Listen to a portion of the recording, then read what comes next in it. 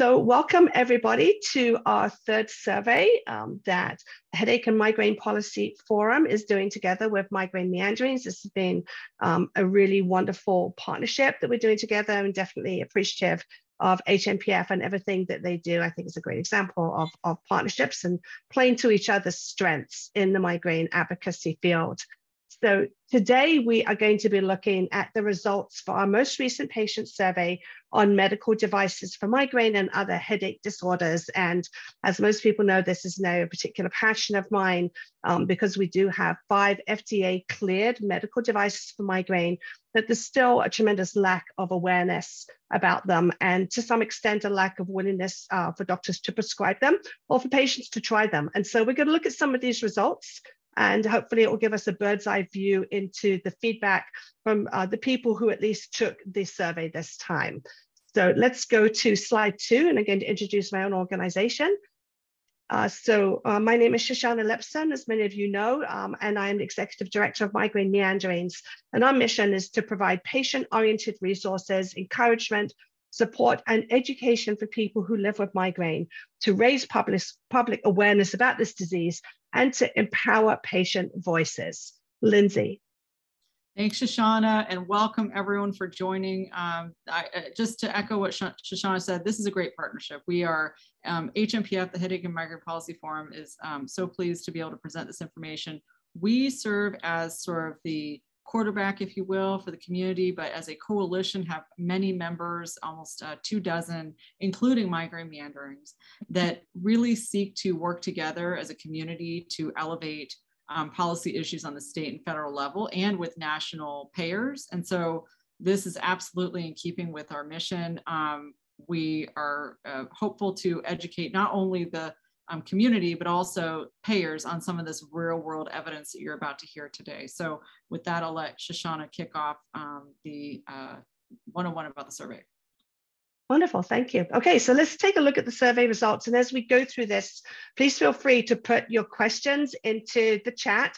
Um, uh, there's actually a Q&A section, so please do that. We will get to your live questions at the end and answer them to the best of our ability. And also feel free to utilize the chat as well. We'd like to know, you know, who you are. Uh, are you representing a medical device company? Are you a patient? Are you a healthcare professional? Have you tried a medical device? Um, have you thought about trying a medical device? And if so, which ones have you tried or thought about trying? So let's look at the demographics for this survey. Um, so we did have fewer people participate in this survey than our other ones. Generally, we get around about 500 people. It wasn't altogether a surprise. It was disappointing, but probably what we would expect it just because when people see medical devices for migraine, um, there's just not as much response as there is when we look at medications, to be quite honest. Um, and so it was harder to get people to participate. We were really excited that we did end up getting 326 people. Uh, so that was good. But I think it was just indicative of the lack of awareness of medical devices and the important role they play in migraine treatment options. So the demographics for our, this particular survey, very similar to the other surveys that we have run. It is heavily skewed on the chronic side, which we know is not um, indicative for the general population for people with migraine, but it does tend to be indicative of the population for people who are involved with advocacy organizations. So 66% of people have chronic migraine. They have 15 to 30 days uh, of migraine headache days per month. 22% high frequency episodics, that's 18 to 14 days, uh, which in many cases is, is just as or almost just as disabling as people of chronic migraine, depending on the, you know, the severity and responses to treatment for that migraine. And then 12% had one to seven days per month. And we did um, take in people for the survey who had less than one migraine day per month. For health insurance coverage, we're seeing is almost 50 50. So 42% of people have Medicare, Medicaid, 55% of people had commercial insurance, 14% had other. Not entirely sure what that is. I'm going to presume maybe it means they don't have insurance. Um, but and then there's obviously some overlap in case you're wondering why that doesn't add up to 100%. Some people have commercial insurance and they also have Medicare, Medicaid.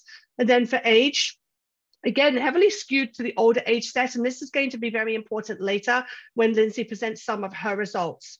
So we're seeing that only 3% were 18 to 25 uh, 15% of people were 26 to 40. And we really need to do a better job of reaching out into that younger age group because we know that migraine often starts in childhood um, and certainly by uh, teens and college years. And so we need to figure out a way to get into that demographic um, and encourage them to start participating in surveys so we can hear the voice and so we can start um, just educating people about the importance of early treatment for migraine. 51% of people, obviously, this over half percent, are in the 41 to 55 percent, 55 age range, and then 31% are 56 plus. So that's good because we're actually starting to hear from people who are older, which is really important because it's a misnomer that migraine just stops, especially for women when they, you know, hit menopause. Uh, that it often just continues. Sometimes even starts. Sometimes it gets worse, um, and especially in in the perimenopausal years. So it's good to hear from people at the 56 plus age range. And then gender, again, heavily skewed 94% uh, women, 4% male, 2% other. Um, no surprise to anybody, really. But again, uh, we do need to do a better job of reaching out to the male population. Um, and, and I think that we are doing a good job at reaching men, but to actually um, transcribe that into action so they will take a survey is something altogether different. Um, and so we just need to kind of think outside the box a little bit for that and start hearing um, from more men as well, because we know at least 25% of people with migraine are men. And next slide, please. So we looked at awareness of devices and then bear in mind that again, this whole survey is going to be skewed towards people who are kind of aware of devices, which is why we had trouble actually getting people to take the survey.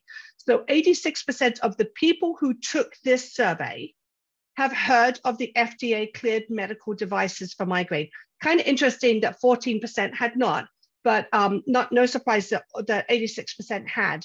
And out of those, we can see that 73% of the people who answered this survey had heard of Cefaly. They're doing obviously a great job of getting the word out there, raising awareness, because it helps that it is not a prescription product, it's over the counter.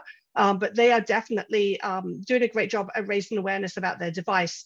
38% people have heard of GammaCore. Again, this is a prescription device, um, and fewer people have heard about it, um, but they're also doing a great job. For Nerivio, great job here. 54% have heard of the Nerivio device. So those are the three devices that have been around the longest and that are the most accessible. Um, going down to Relivion, this is the newest device that was FDA cleared. So no surprise that only 17%, although I thought it was great actually, that 17% of people have heard of the Relivion MG, especially considering how new it is, and that it doesn't have full um, distribution yet. They're still in the middle of launching. Um, and then 11% have heard of the SAVI Dual, which is also used to be called the STMS Mini.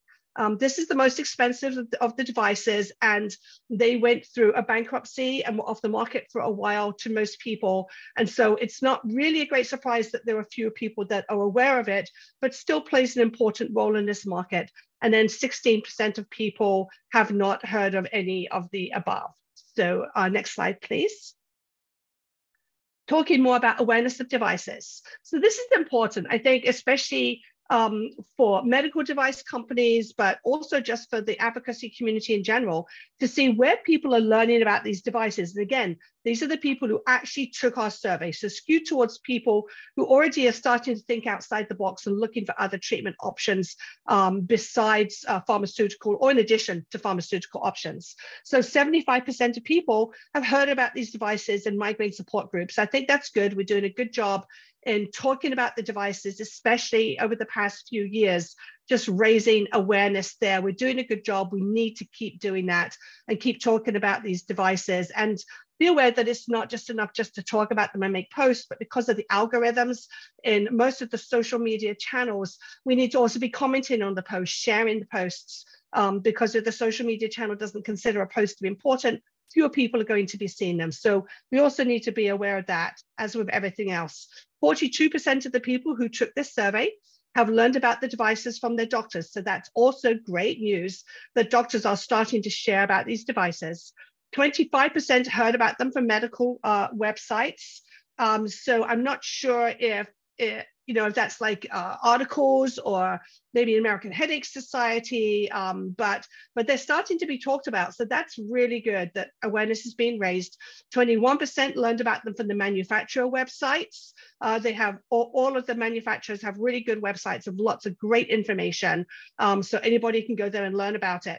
And then out of the people who took this survey, 43% say that their doctor has recommended or prescribed at least one of the above devices to treat migraine or another headache disorder. Now, we don't know if that's because the doctor raised that in the first case, or if it's that the patient said, hey, is this important?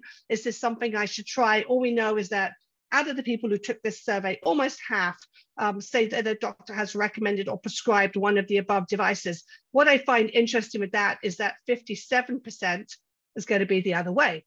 So, what is it that all these people who've heard about medical devices um, are talking to their doctor, but their doctor is not recommending or prescribing them? Uh, so, I find that kind of an interesting statistic and kind of indicative of, of one of the barriers, the access barriers that we're looking at, which is just doctors' awareness of the devices or willingness to prescribe them. Um, and part of that is obviously also going to be the shortage of certified headache specialists. So uh, that obviously is, is, an issue in itself. Uh, and next slide, please. So device use treatment. 49% of the people who took this survey currently used or have tried at least one of the medical devices for migraine treatment. Now, obviously, if doctors are not prescribing them, people can't try them except for the Cefaly. So there's no great surprise having seen that majority of doctors are not recommending them, even for these people who have taken the survey and have an interest or an awareness. So the 49% is not a surprise. But if we're looking at the devices that have been tried, no great surprise here, Cefaly, 35%. It's over the counter. Um, and you don't have to go to your doctor. You don't have to wait for them to prescribe it to you.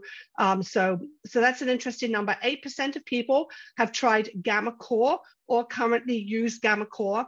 23% um, have tried or are currently trying Nerivio. And both of those companies also have the ability for you to go to their website and actually have a doctor's appointment with their with one of their doctors. They, they work with a company, each of them, so that you don't have to wait to go to see your doctor to see if this is an appropriate device for you, um, or you don't have to rely on your doctor being willing to prescribe it, but you can actually go. And I think that that is a really great service that they offer. Um, but many patients are not aware of that. So that's an important aspect of awareness. And then Relivion, no surprise here, 2%, because Relivion is still going through its launch right now. It is only available um, in certain headache centers, certain headache doctors are able to prescribe it, others are not, because the doctor has to be trained on their HCP platform before they can prescribe it. But they are going through a broader launch uh, later this year. Right now, they're getting feedback from certain patients. And as many people know, I'm one of those patients that they're getting feedback from. I'm enjoying testing out the Relivion myself. Um, and, and, I love the fact that they are working directly with patients for them to try and then to give feedback into their device and into the app as well. It's always great when companies want to get that feedback from patients and we're looking forward to a broader launch. It'll be interesting to see if we were to do the survey in a year or two years time, how these numbers would change. And then for the SAVI Dual, only 5% of the people who take this survey have tried or are currently trying the SAVI Dual. Again, no uh, surprise there because it was off the market for a while and now it's gone through a branding name change. Uh, so we'll see what happens with the SAVI Dual going forwards. And there's a lot of unknowns there. And then, of course, 51% of people who took this survey have uh, not tried and are not using any of the devices, which I find fascinating. Next slide, please. Um, I think this is this still me? Yes. Okay, so quality of care with the devices. So 25% of people who took this survey used the medical device in conjunction with other abortive and or preventive treatments. And so a lot of the time what we do in the migraine advocacy world is we don't say, you know, take a pill and, and that's all you're going to need or use a medical device and that's all you're going to need. Increasingly, uh, most of the advocacy communities talk about a toolbox approach. So you'll take, you know, you'll take uh, possibly a prescription uh, preventive treatment, a prescription abortive treatment, a medical device, or at least one medical device. Maybe you'll take supplements, you have lifestyle changes. You may have some integrative treatment options like a biofeedback or mindfulness, or even acupuncture, massage therapy. Um, and so 25% of people here use their device in conjunction with other abortive or preventive treatments. I would have thought it would be higher than that, um, but it's interesting uh, to see those numbers. 18% of the people who took this survey, now bearing in mind that only 25% are using them in conjunction with other treatments. So 18% agree that the use of one or more of these devices has significantly improved their migraine pain and symptoms. Now, for some people, you may think that that's a low number, but for anybody here who lives a chronic migraine or high frequency episodic migraine, um, that's a huge number. You know, that is statistically relevant. It's, it's statistically significant for us to know that. Um, and I think that that's huge. Bear in mind, again, half the people who took this survey um, are not using the device. 8% say that it has significantly reduced the amount of medication they're using to treat their migraine. Again, looking at that toolbox approach, and I know that that's how I personally approach trying medical devices. And there are two devices that I currently use. Um, I'm always looking at do I have to take my abortive medication less frequently? Or does an attack stop more quickly so it doesn't last as long? Those are really important things. It's important for patients to track um, just to see because a device may stop one attack, but it may not. You may up, wake up in the middle of the night with a severe attack that a device may not help. But on the other hand, if you can catch one, you know, in the middle of the day, very quickly after symptoms start, then that may be an attack. You don't have to take medication. And as from my perspective, that's a win-win. Um, and I think that it's this whole approach again for the toolbox. 13% uh, of people who took this survey report that the medical devices are effective in aborting their migraine attacks. Now, uh, the Cefaly is approved for uh, preventive care. Gammacore is approved for preventive care, and then Nerivio and Relivion are both in clinical trials for preventive treatment. So your doctor theoretically can prescribe that, but it would be off-label for preventive. But it's great that those companies are also working on preventive treatment. Uh, we just don't have as much data right now because it hasn't gone through the FDA clearance process completely. But it's great to see that 30% of people here say that the medical devices are effective in actually aborting their migraine attacks. And I know for myself, if I can catch an attack within 20 to 30 minutes of my earliest symptoms, that's not the pain, that's the earliest symptoms, then often I can actually stop an attack. Again, that's a win-win for people. And the next slide, please. And over to you. Thank you so much, Shoshana. So you know, that's a good segue into, and first, I think before we proceed, there was a question from an attendee about um, the last slide, which is, you know, statistically significant has a very specific meaning. Can you clarify what you mean by this being significant? That certainly has to do with the number of headache days that, or, or headache days or attacks that have been reduced by usage of the device. So we can probably follow up with you and, and determine what that number is after the webinar and provide that um, when the um, recording is provided. But um, yes, that does have a correlated um, number in terms of reduction of attacks or uh, headache days. Next slide. Barriers to access, insurance barriers. So, you know, we just heard Shoshana talk a lot about how there's definitely generated interest about devices. Even the folks who haven't tried them are want to know more about them. Um, but the follow on is whether or not folks are able to get access to those devices. And we've seen that there are two major barriers there. Number one being with insurance companies being less than willing to provide coverage for devices. And so our survey um, very briefly showed that almost half of respondents have, have actually tried to get a me medical device covered by their payer and about a third of those um, have said that they no they've hit a wall. Their payer has denied coverage. And we can talk a little bit about why that is. And then 5% said their insurance covered the device they were prescribed and um, and they were successful at least getting partial cover coverage. We're we're thrilled. We wish that number was a lot higher. Um, 5% is a start but as you can see from shoshana's previous slides there's a great greater number of folks who are very interested in in um, trying these devices if they haven't already. And so um, we should talk a little bit about why that is. You know, there's a difference without going down a rabbit hole between FDA, FDA approval and FDA clearance. Devices go through a different process by which by the FDA, which they are cleared. But for many insurance companies and payers, they're still deemed experimental because the rigor of either the clinical trial or in this case, um, you know, how they are stacked up against each other and, and, in some cases lumped in together makes it very challenging um, for, you know, patients who may have a very specific interest in a, in a certain device. Um, that device might be lumped in with other devices that might have uh, different scientific evidence. So um, you know, on that level, surveys like this help with real world evidence um, to help provide payers some insights about the folks who are using them successfully. Um, but I will say the Headache and Migraine Policy Forum, along with CHAMP, you know, are really, and Shoshana as, as members of both of those organizations, you know, trying to um, educate payers to help them understand why they should provide coverage. Um, you saw that number of 8% in reduction of um, pharmacological medication. That is a cost savings measure. If you have access potentially to a device to abort an attack, then perhaps you're not taking another therapy. Um, we know that migraine patients are the fourth highest users of the ER. So perhaps instead of going to the ER, um, you know, expending uh, resources to the healthcare system and then potentially being uh, prescribed an opioid, um, if they had access to a device, you could potentially save a lot of money to the healthcare system. So helping payers understand um, that there is uh, there are a lot of good arguments for why these devices should be covered. I think what we've found, um, HMPF and CHAMP sent a letter to the 10 largest payers in the country specifically about device coverage. And what we got in return, um, in particular from United Healthcare um, earlier this year, was a response about, you know, how they're kind of all the same. And, you know, we we have um, replied back and let them know, you know, the technology, the difference between a REN unit and a TENS unit, that's above um, the level of this webinar today, but the mechanism of actions can be different for some of these devices. So trying to educate them um, in order to get appropriate coding and all of that work. So just know that the community is working on that issue. Next slide.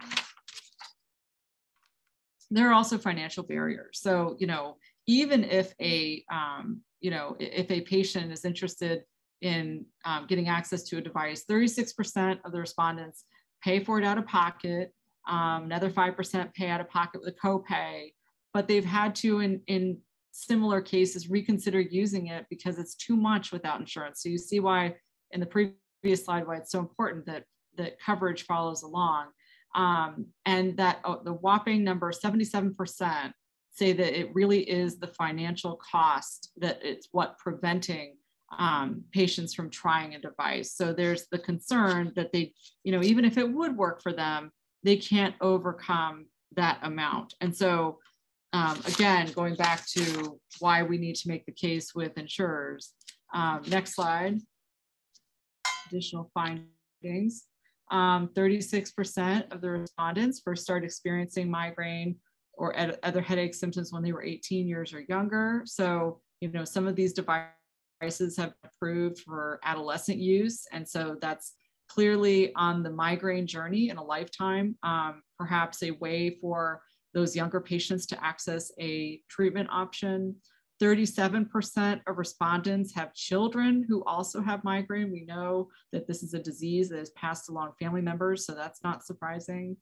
Um, less than 1% um, have been able to use a medical devi device to treat migraine during pregnancy simply because the sample size here I think was so small and the chances that someone could access a, a device during pregnancy is minimal. But that's absolutely um, a theme that I think the community is trying to drive home next year is that this is a safe and effective option for, for um, pregnant persons. And then 4%, only 4% have ever tried a medical device for migraine before age 18. So um, you know, in terms of getting access, it's clearly in, in later years as Shoshana outlined. So uh, next slide.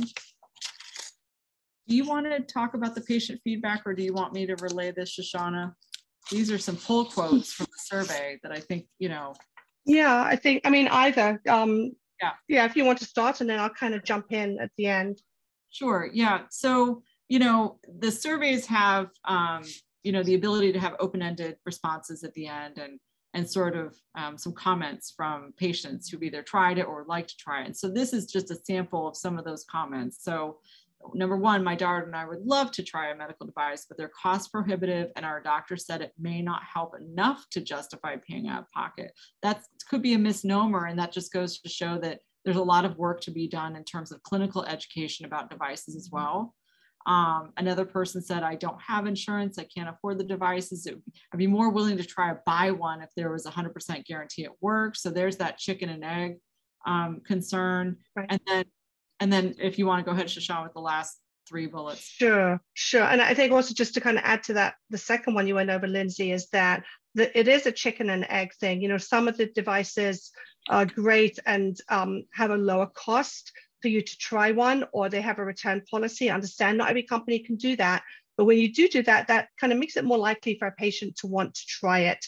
Um, and also, I know that part of it is a mindset for the patient. For myself, I think that if I can stop a migraine attack, is that a day that maybe I can do some advocacy work or I can write an article? And so I kind of look at the, I try to look at the cost benefit of, of a device working. Um, and but but that's just kind of a, a change in perspective um, that maybe we need to talk more to patients about. Uh, so then looking at the third point, uh, saying devices are more effective than medications for me, insurance refuses to pay. Obviously, you know, we're trying to work on that. It is an uphill climb, um, but all the companies are also working on that. Um, and we do have a collective, a devices collective that is trying to work on that together as well. Uh, again, reiterating this, I love my device. We took the name of the device out there. Um, it helps, but I cannot afford it anymore. Um, and, and that's kind of, again, that's, that's a catch 22 situation because if you bring the device down too low, then the company risks going bankrupt. You know, it's just not financially feasible for them to stay in this particular market. On the other hand, if it is too expensive, then you know patients can't can't use them and so it, it is it's a tough thing while we're working on this insurance coverage i always tend to say you know that sweet spot is below $100 a month for some people even that is just not going to be reasonable either. But I think that seems to be kind of a magic spot. Again, that just may not be feasible for some companies in order for them to stay afloat. And we just need to be aware of that. Put it in comparison with medications, you're seeing that one pill is often $100, just one pill, not a month of taking that medication. And sometimes more than that, especially, you know, some of the, the newer ones, they're thousands of dollars. So putting it in that perspective, these devices are not expensive uh, but we are dealing with insurance issues. So, and the last one here, I think is very important. This is something that I'm working on um, with one of the companies right now, where someone says the devices are not viable for me as I have severe allodynia, and these devices often make that worse. And so we're looking at this is actually an access barrier. And part of it is very real. I myself have very severe facial allodynia. And so the devices are a challenge for me when they go on my face or around my head. Um, but that doesn't necessarily mean that because you have severe allodynia that you can't use the device. It may be, but it may be that you need to go through a protocol where you are slowly increasing that. And slowly is a relative term. So what someone else may say is slow may not be slow for you. Uh, so right now I'm trying to work on, on a protocol for a device uh, for that for myself. And I'm happy to go really, really slowly. Um, and I've been sick recently. And so my allodynia has been much worse. And so the stimulation level I'm using has had to be much, much lower. And so I think it's just a matter of being patient and not thinking, because this happens, that means that I can't use this device or any device. That may be true, but it also may not be true. And it just may need, mean that, you know, we need to be creative and thinking outside the box. I think. and have, next slide. Yep. Sorry, I, Lindsay. Oh no, no. I, was, I think we're right at the Q and A portion, maybe. Yeah. Um, and we have a couple questions in the box here. So if we want to take them one by one, Shirley, Shirley noted, can you provide the reference that migraine is the fourth largest user of the ER? Yes, I can certainly find that citation again when we share um, the recording, provide that to everyone. We've widely used that statistic um, and we've, we do have that citation, so we can share that. I don't have it off the tip of my, tip of my fingers, but yes, we can share that. The second, the second question, I don't know, Shashan, if you want to take that. How do we oh, make? Oh, you know, that's more of your thing. I'm oh, going to say this true. is totally your ballpark. oh, it's a payer question. So yeah, Rachel Coe asked, so how do we make the case with payers to cover the cost of devices? Even if one can try one of multiple devices, they cannot keep up because the use of cost. These numbers will not likely budge if there's no financial supplement. So what I would say is that this is an issue campaign there needs to be some noise from the patient provider community about the, the want and need for this. Um, quite simply, it is number one, having a conversation with your clinical provider um, and whether or not they would be interested in outreaching to their state's health insurance commissioner to say, hey, why don't these plans systemically on a state level provide coverage? There needs to be an amount of noise for health insurance commissioners to step in as sort of a third party liaison and, and ask some questions of payers about this. And, you know, um, at the end of the day, you also have to remember that patients aren't necessarily the individual consumers.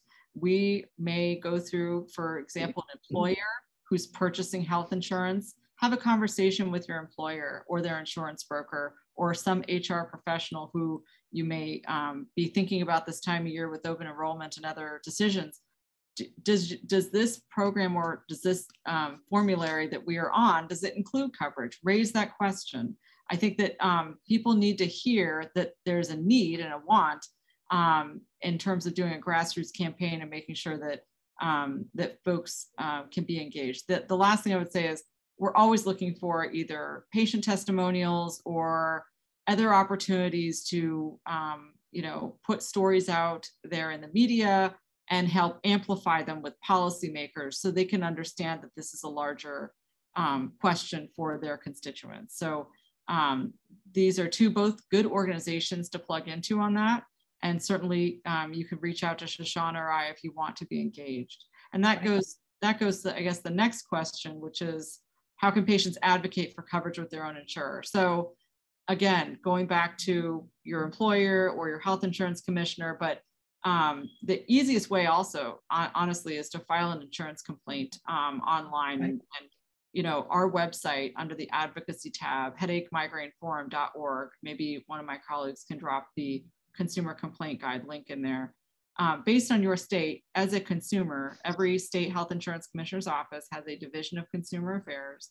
You can file a complaint and just say, you know, why does my plan not provide coverage? Um, if enough people do that, I think it would generate some noise. I know that there are advocates having one-on-one conversations with payers. I know that the clinicians do that as well, but they also need to hear sort of the, from the grassroots.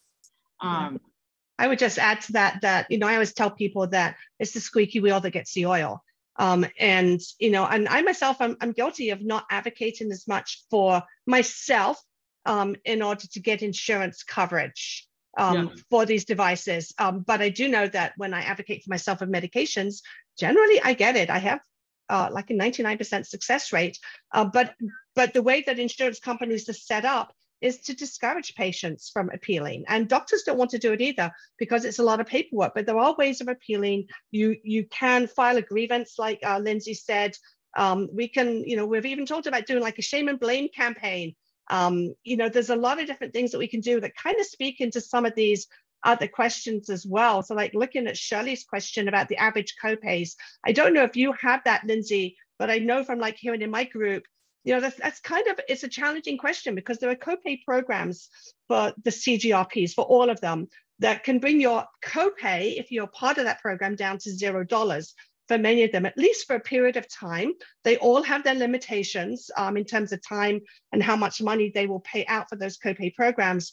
I think the bigger question would be, you know, once your insurance is covering it, or if you're on government funded insurance, what is your average copay? And that can literally be from zero if you have supplemental assistance with Medicare, um, all the way up to uh, seven, eight hundred dollars. I mean, in my groups, we hear outrageous, outrageous copays for the CGRPs that literally are anywhere between five to seven or eight hundred dollars per month. And so, putting that in perspective with the medical devices, just from a financial perspective, it's better for an insurance company to also consider a medical device as well. So, um, so just from the CGRPs, did you want to add anything to that, Lindsay? No, I would say um, we're not. Um, I know there's a representative from Theranica on the line. So if they're able to type in an answer or provide sort of that cost differential from their perspective, and you know, in terms of the average copay for a CGRP versus the cost of device, we'd welcome that. That's always good information. Right. Again, yeah, we also we also have um, someone from Relivion here and someone from gammaCore. Okay, great. So, so I, we have three companies if folks can, you know, maybe type that in the chat. Um, next question from Eric. Um, wonderful survey, interesting and helpful. Should all the device companies, which I am one, focus less on themselves, increase coordinated efforts to increase awareness and support reimbursement? We always think that um, you know, it, it's helpful to ally on certain issues. Obviously, each device company will have their parochial interest, and we're not engaging. We always try to stay sort of above brand.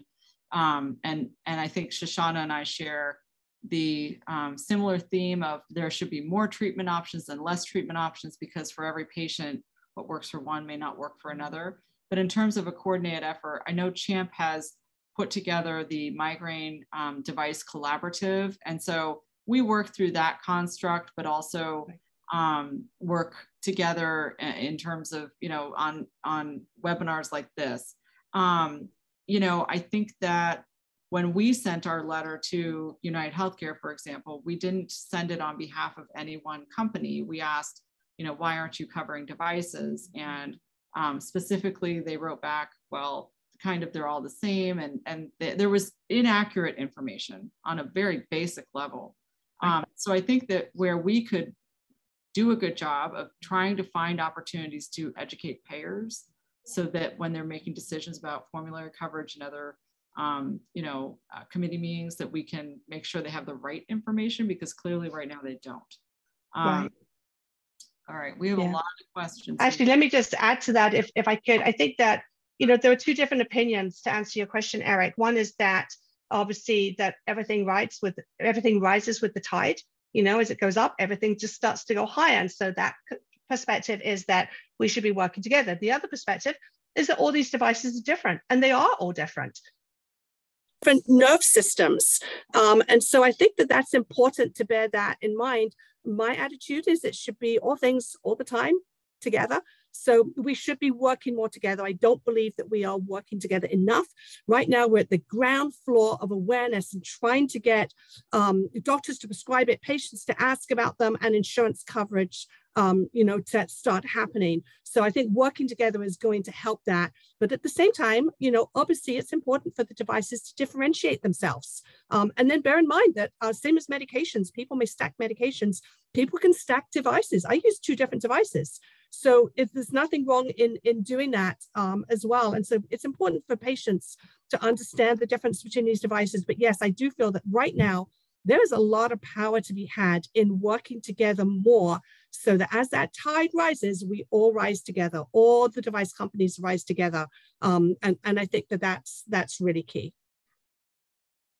Um, Rachel had a question, insurance complaint, never heard this. Can you explain more, please? Um, so each state has their own insurance commissioner. Think of that person as the watchdog, if you will, over any insurance product in their state, whether that's fire insurance, but also you know home insurance um, providers, but also healthcare insurance. And so um, part of their job is to make sure that there are not um, from a consumer level, because right, if you're a beneficiary, you are purchasing a product. If you are not getting or not the recipient of the benefits of that product, it's it's violative of the contract that you've entered. Um, so they sort of interface with payers as a third party watchdog, if you will, but also liaison, just to kind of at least start to understand why is something not happening on a systemic level? Like, you know, a good example, um, uh, we engaged on a prescriber restriction issue in the state of Kansas. There was um, a problem with patients not being able to access therapy unless they went to a very specific type of headache specialist, of which there was zero in the state. Well, we, you know, you get the insurance commissioner involved on something like that so they can sort of investigate and understand what the problem is. Um, each state has, of course, because we live in a 50 state system, has its own website, which I can, you know, is not necessarily intuitive for people to find or, or interact with. We've made it very simple on our website. Um, my colleague Allison has put the link there. If you click there and you find your state, it will drive you to sort of the web portal to make a complaint. The complaint is not a legal complaint. It is not a legal filing. It is not um, you know, it certainly could be part of a public record, but it's basically to say, um, you know, this is the issue I'm having. I hope that you'll reach out to the insurance company and both a patient or a provider can initiate that type of a complaint. And essentially that gives, I won't say the ammunition, but the ability for us to then go in to say, to speak with the insurance commissioner and say, look, some of your constituents are having this problem. We need to understand why they're not receiving coverage for um, for a device, for example. And so it starts a conversation. It it directs some attention on the payer to maybe be responsive, otherwise when they might not be. And so it provides allyship, but also a constituent level voice on an issue. So if you do care to, you know, have have time and attention to do that, um, I think that's a step in the right direction. Yeah, absolutely. Um, I don't see any other questions. If anybody else has um, a question they want to add, let us know. Um, otherwise, we're going to kind of bring this to a close right now and just want to, I see that um, Andre from uh, Theranica is checking on the, the CGRP copay um, information. And we just heard from uh, Summer Diaz from GammaCore um, that we're aware of GammaCore device copays at the 50 to $75 level. Um, obviously, some of them are higher, some of them are lower. It depends on which provider you go through. Uh, if you're uh, with the VA, you know, some of these devices are just covered completely, which is amazing, uh, and they should be. Uh, but but we need to see that more as well. So uh, so that's really important information. But I think from my perspective, just looking at the numbers, significantly less expensive for an insurance um, payer to cover a device than it would be to cover a CGRP.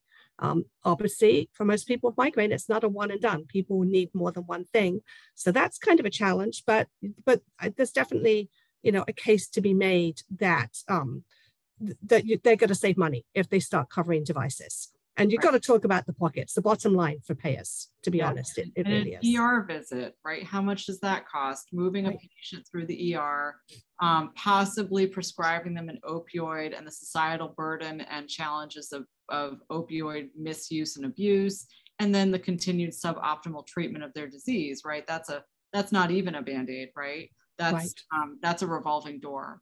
And so, you know, there, that's an expensive revolving door. And so where devices can offset some of those costs, I think that um, that case needs to be made and we're trying to make that. Right. And then I, I see the comment from Kessel um, about the Miles Migraine races. So, you know, the pharmaceutical companies, they do have more money. You know, they they can put more money into marketing and going places and they have tables at these races. But you know what? The devices need to be there at the races as well. You know, if we want to start raising awareness We've got to have medical devices out there. They've got to have a place at the table. They've got to have a face. Um, and because of obviously, you know, less financial resources than big pharma, that may mean sharing a table. Again, as the tide raise, rises, all ships are going to rise with it. Um, and so I think it's just that different perspective and a lot of companies, a lot of advocacy organizations are trying to do things along those lines. Uh, we, my organization has a brochure about medical devices specifically, where we just kind of give the basic information, encourage people to talk to their doctors about it. So it's just kind of getting the word out there that uh, I, think that that's really important. But but that would be a great example that we, we really need, as an advocacy community, we need medical devices to have a place at the table, whatever that means. Um, just to speak to Sharon's comment, and then I'm going to pass over Diane's to you, Lindsay, uh, where you say Medicare doesn't cover anything on the Nerivio. Um, that may be true, but I think one of the misnomers about Medicare is that it's just kind of one monolithic kind of thing. But Medicare is very, very complicated. You know, you have supplemental Medicare, straight Medicare, and then you have Medicare Advantage plans, and all the Medicare Advantage plans are different, every single one, and they all have their own processes as well. So we hear this a lot with medications too, where people will say Medicare doesn't cover these medications, but actually a lot of the time it does. It's just a different process to get them to cover. And so we do have a steep climb when it comes to devices and government funded insurance, specifically Medicare, Medicaid, but it's it's not impossible at all. And it's a fight that I think we all need to make together if we want to start moving that needle. So um, hand it over to you, Lindsay, for Diane's question. Yeah, Diane, that's a really good question. So tip, so no, the answer is no. The state insurance commissioner's purview and oversight is over the state commercial plans. Obviously, states administer Medicaid, that's different um, you know, the holy grail is making a, a formulary or coverage change in policy um, at CMS because of so many covered lives and beneficiaries there. And, and honestly, you know, as CMS goes, so go commercial payers. It's sort of, um, you know, as the federal government may do something, then commercial payers may take a lead. But there's something to be said for sort of percolating this on a state level and trying to do what we call, which is terrible, the whack-a-mole approach, which is to help provide coverage on maybe an individual state basis um, and get smaller wins there to build momentum to maybe you know, express to the CMS administrator and others that there ought to be federal coverage. So I would say they're interrelated, but no, we unfortunately can't um, ask the state health insurance commissioner to do that. Yeah, definitely. All right. I think we're kind of about time for the questions. Um, so if we just want to go to the next slide and talk about when on actually the one after that. That's just us saying thank yeah. you for being here. We really appreciate you. Without you, we couldn't be doing this. So um, so thank you, uh, everybody. I also just wanted to say a quick uh, thank you to you know, the companies that um, that sponsor the advocacy organizations, we couldn't do this without you. Um, a shout out here to Achy Smile Shop because they also sponsored this particular survey. They gave away some free products to some survey respondents, uh, something that I know I'm behind on getting out because I've been sick. But those of you who want a prize, you will get that prize soon. So we appreciate you, Achy Smile Shop. You may want to head over there um, and consider getting a holiday gift um, from there as well. It's an amazing um, patient advocacy organization too. And then moving on to our next survey, uh, which we are, we moved to February 1st just to give ourselves all a chance to breathe over the holidays. This is a very important survey. We're looking at step therapy. It's going to open on Wednesday, February the 1st. Um, for everybody who's here, we would love you to participate. We'd love you to share that survey when it is available so that we can raise more awareness. So instead of getting 300 to 500 respondents, maybe we can get 750, you know, even higher. I like to dream big. We know, you know, there are almost 40 million people with migraine in America. Um, and so we want to get the word out. And part of that is doing these surveys. So please keep an eye out on our next survey, which is going to come out on February 1st. The survey will run for one month and then we will do a summary report. We do have a summary report. I, I don't know if Lindsay do you have that up on your website yet? I haven't put it up on mine yet, but it will it go. Is, yeah, I think it's live on our website. Um, and so if you go to headachemigraineforum.org, and I believe under the tab of resources or educational materials, there will be a position paper and it's listed there. But but then also at the end of this survey series, Shoshana and I will package all of these into sort of one greater report. So um, for those who either missed other webinars or um, want to kind of see collectively how the, all the information is presented together, we'll anticipate getting that out in the spring. So uh, yes. we're excited. This has been, at least for me, a wonderful series and, and yeah. such good, um, such good uh, response from all of the migraine meanderings uh, folks in the community. Yeah. Thank you. Yeah, and, and if there's any topics that you want us to cover in 2023, you know, after we do the step therapy one, we've done combination therapy, we've done medical devices, we've done yeah. emergency room and urgent care, and then step therapy. Um, um, oh, I see there's actually a typo here. It's on step yeah, therapy, not combination therapy. Um, so just to let you know that. But if there's another topic that you think is hot, that you would like us to cover in a survey in 2023, um, let us know uh, because we would love to, you know, to participate and get your ideas for that. And I think that's it, right? Um, I see Shirley said she'd like to see more topics on how patients can work together to nag payers. Yes, amen to that. Maybe not nag. yeah, it's kind of the shame and blame type thing, how we can interact. So I think that that's a good thing. Um, servant, insurance pre-auths, yes. I think that that would be a great thing, Lindsay, for us to talk about. Um, PAs, formulary exceptions, all yeah. these ways that we can. Necessity. Yes. Yes, I think tier, so. yeah, tier exceptions. That would be, yep, great ideas. Um, great ideas. Yeah. All right. Um, and I think for my end, that's it. Yeah, this a, lively bunch, and we appreciate all the interaction. Um, like I said, look for. I think that we'll be sharing the survey recording, Shoshana, right. and then um, that follow-on report is available on our website and we look forward to the next. So thank yes. you. Have wonderful holidays, everyone, as we creep into mid